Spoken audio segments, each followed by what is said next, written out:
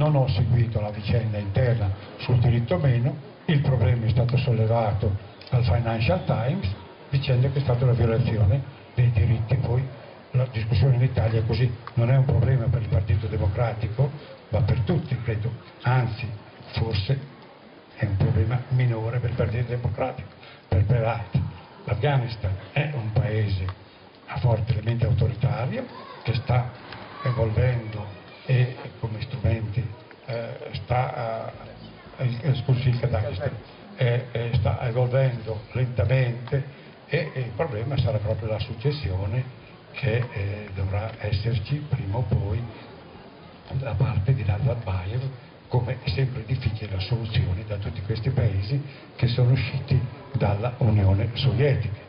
Quindi è un paese ex sovietico in cui il leader è rimasto il leader di allora, il paese si è articolato e si va complicando dal punto di vista economico, quindi eh, nascono nuove forze, nuove strutture, eh, anche nuovi protagonisti, ma è un eh, cammino molto lento verso il cambiamento.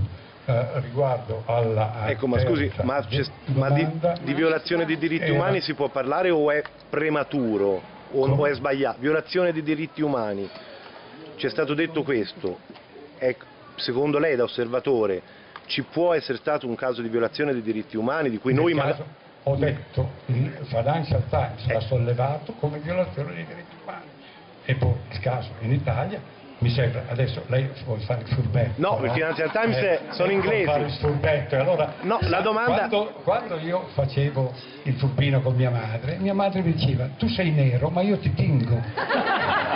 Domanda, era, la domanda allora, era, proprio eh, per evitare strumentalizzazioni oh, di altri, ecco, volevo il suo ecco, parere, perché allora, il Financial Times lo troviamo in edicola, volevamo il suo parere, domanda, visto che lo conosce.